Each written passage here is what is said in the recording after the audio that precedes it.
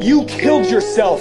And you didn't fucking care. I did. No, you didn't, or you never would have done it. I was hurting. I didn't think about it.